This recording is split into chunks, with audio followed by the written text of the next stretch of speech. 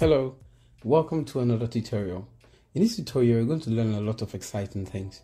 We are going to learn about conductors and use the knowledge we've gathered already to build our first project.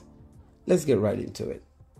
So, you already remember that we built ourselves a buzzer circuit using um, two um, dry cells in series and a buzzer.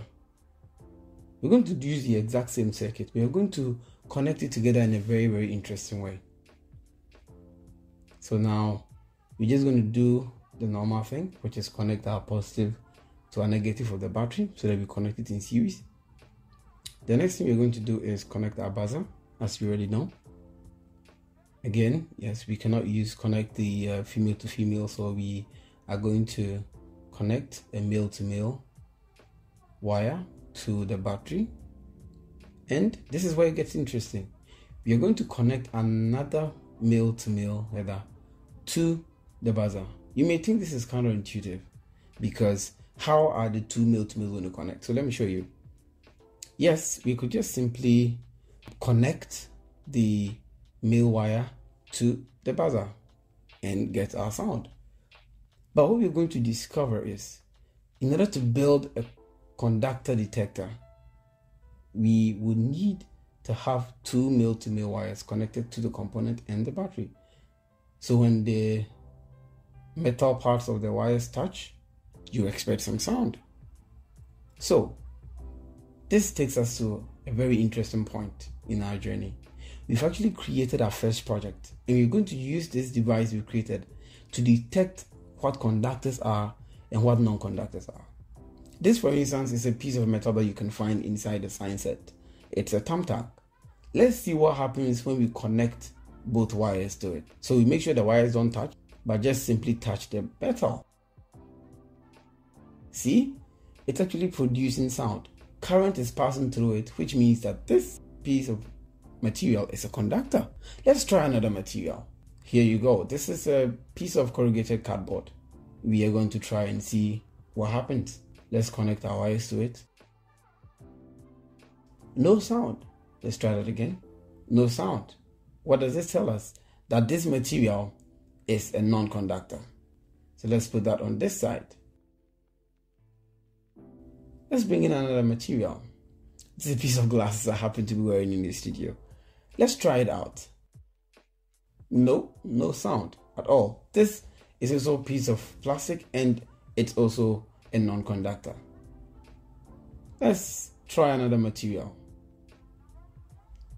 This is another material you can find in the science set. You're going to be using it later to build a switch. Let's try and see. See? It's also a non-conductor. It looks like the non-conductors are winning. Let's bring in another material and see. This is a piece of aluminium foil. It doesn't look uh, like a solid metal, but let's see if it's a conductor or not.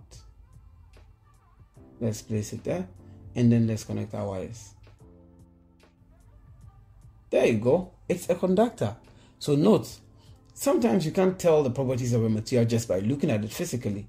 You usually have to subject it to some form of test to find out whether or not it is a, a conductor or not. Next, we're going to look at pencil. Now let's connect and see no sound. It's a piece of wood, of course, so we expect that there will not be any sound. It's not a conductor. But what about the tip of the pencil?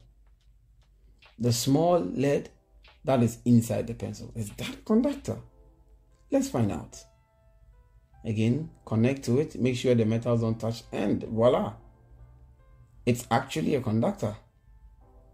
So you see, sometimes certain materials can be interesting.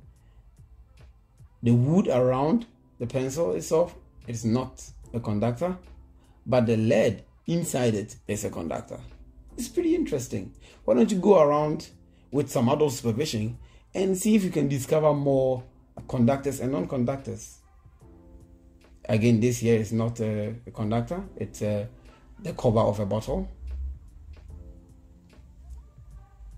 Let's see if we can try another material. This is also a paper clip that you can find inside the science set. Let's find out if it's also a conductor or a non-conductor.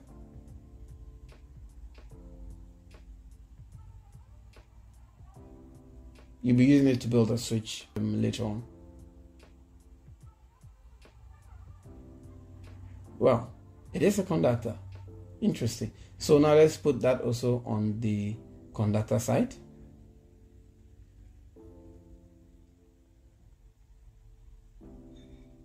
Good.